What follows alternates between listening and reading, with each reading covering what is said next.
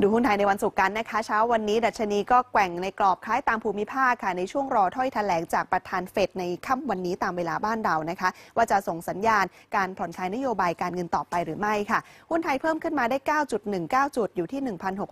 1,642.75 จุด มูลค่าซื้อขายยังไม่มากนักนะคะ 25,000 กว่าล้านบาท